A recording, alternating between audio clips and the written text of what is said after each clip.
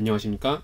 웹스 시스템 코리아입니다. 이번 영상은 SOLIDWORKS 2018 신기능 중 mesh 모델링에 대해서 살펴보도록 하겠습니다. 먼저 2017 버전은 mesh 데이터 파일 형식이 지원이 되며 불러오기 옵션이 화면과 같은 부분으로 확인이 됩니다. 하지만 2018 버전은 호환되는 파일 형식은 동일하나 불러오는 옵션 내용이 추가가 되었으며 mesh 데이터에서 바로 곡면 생성하는 기능이 추가가 되었습니다 앞에서 보신 내용과 같이 지원 가능한 파일 형식 두 번째, mesh 영역을 곡면으로 직접 변환하여 사용 가능한 점 그리고 mesh body 자체를 body로 변환하여 즉각적인 사용이 가능하다는 부분과 재질, 단면도, RealView, 참조 스케치까지 많은 내용들이 2018 버전에 추가가 되었습니다.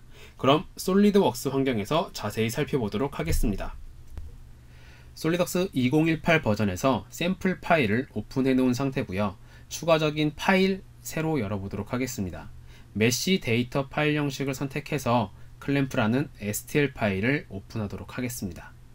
오픈된 클램프 파일로 추가적인 모델링 작업을 이어나가 보도록 할 텐데요.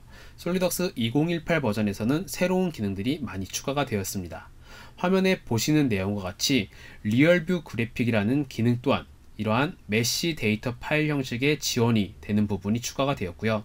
재질 또한 적용을 시킬 경우 그 재질이 가지고 있었던 고유한 표현값 또한 어, 그래픽 바디에 그대로 업데이트되는 부분을 확인하실 수가 있습니다.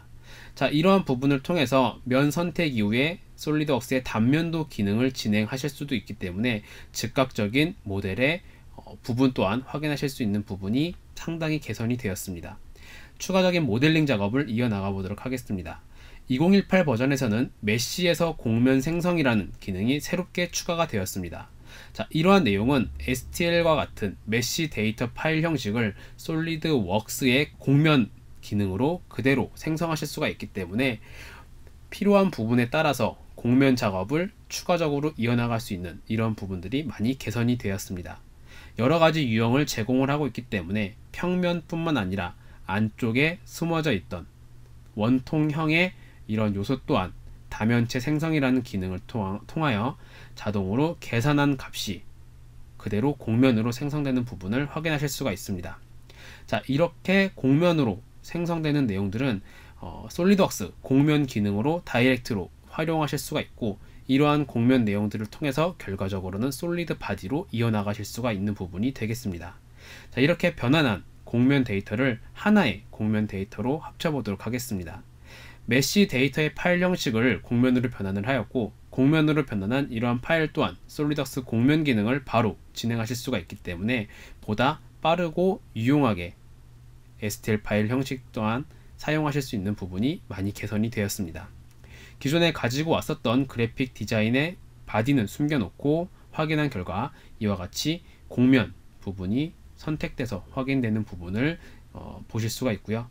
추가적인 작업 또한 이어나가 보도록 하겠습니다.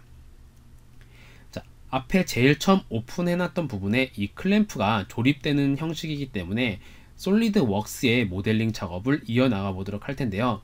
이러한 STL 파일과 같은 mesh 데이터 파일 형식이지만 SOLIDWORKS 2018 버전에서부터는 이러한 요소를 그대로 참조 요소로 삼으면서 SOLIDWORKS 스케치 등의 설계 작업들을 이어나가실 수가 있습니다.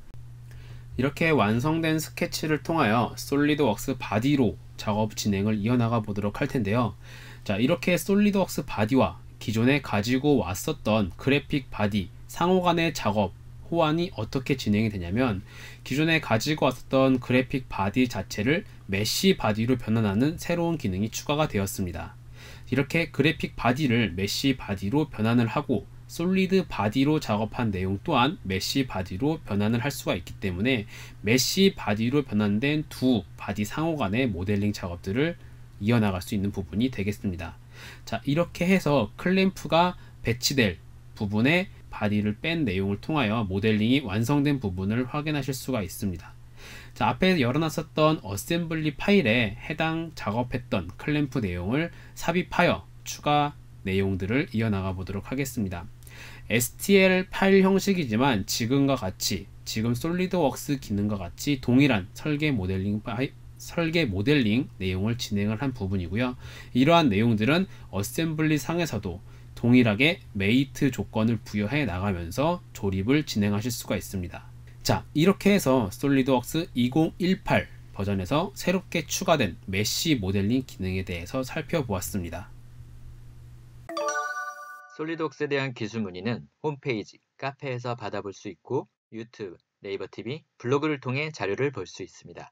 그 밖에도 페이스북, 카카오톡을 통해 핸드폰에서도 확인 가능합니다. 감사합니다.